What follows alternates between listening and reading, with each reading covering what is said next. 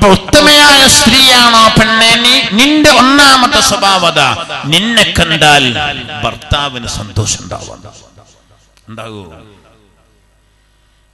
ഉള്ള സന്തോഷം കൂടി പോണ മട്ടപ്പോൾ മോത്തൊക്കെ നോക്കി കിട്ടിയാൽ മതി. അങ്ങനെ.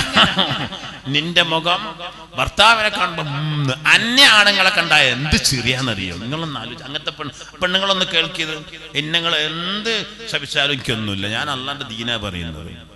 താക്കുസ്താവ് പറഞ്ഞോളൂ ദീം പറയാൻ ഒറ്റത്തിനെയും പേടിക്കേണ്ടില്ല ആഹാര ശാപവും ഉണ്ടാകുകയില്ല. നിങ്ങളൊന്ന് ആലോചിച്ച് നോക്കി.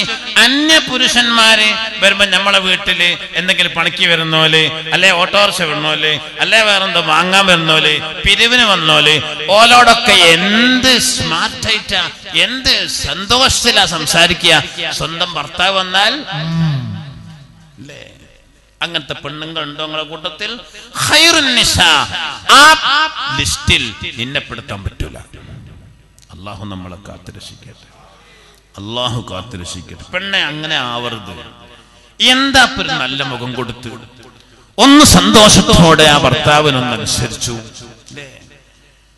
മഹാനായ അലി ഇബ്നു അബി താലിബ് തങ്ങളെ മഹതിയായ ഫാത്തിമ റളിയല്ലാഹു അൻഹായിൽ നിന്ന് എന്തോ ഒരു വാക്ക് മുഖമൊന്ന് മുഖമൊന്ന് വിവർണമായി പോയോ? എന്ന് മഹതിയായ ഫാത്തിമത്തു എന്ന് സംശയം വന്നുപോയി. ആരമോള ആരമോൾ ഹബീബായ മുത്തനബിയ മോൾ. ഭർത്താവിന്റെ മുഖം കറുത്ത് പോയോ? എനിക്കെന്താ എന്റെ വാപ്പ ലോകം സൃഷ്ടിക്കാൻ കാരണമായ ആളല്ലേ? ഞാൻ പോവുക. നിങ്ങൾ തെറ്റി അട കുത്തിയിരുന്നോളി നിറഞ്ഞ് പോയതല്ല. അറുപതോളം പ്രാവശ്യം അലി അലിയല്ലാഹുവിന്റെ ചുറ്റുഭാഗത്തിലൂടെ കറങ്ങി കളിച്ചു എന്തിനെ? അലി അള്ളഹാനെ തൃപ്തിപ്പെടുത്താൻ. അവസാനം ചിരിച്ചു എന്നാ. ചിരിച്ചാല സമാധാനായത്. നിങ്ങൾ ആലോചിക്കുക എന്താ ഇത് പറയുന്ന എന്താ? എന്താ ഈ പറയുന്നത്? അതിനേക്കാൾ വലിയൊരു ഫാത്തും ഉണ്ടോ? കളങ്കര ഉണ്ടോ?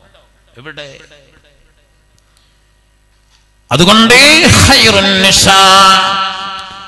ഉത്തമയായ സ്ത്രീയുടെ ഒന്നാമത്തെ സ്വഭാവമാണ്. ഭർത്താവ് മുഖത്തേക്ക് നോക്കിയാൽ ആ ഭർത്താവിന് സന്തോഷിക്കാനുള്ള അവസരം ഉണ്ടാവണം. എന്നാൽ ഉത്തമയായ സ്ത്രീയുടെ ഒന്നാമത്തെ സ്വഭാവം നാല് സ്വഭാവമുണ്ട്. നാലും സമ്മേളിക്കണം ഒരു പെണ്ണിൽ എങ്കിൽ അവൾക്ക് സ്വർഗമാണ്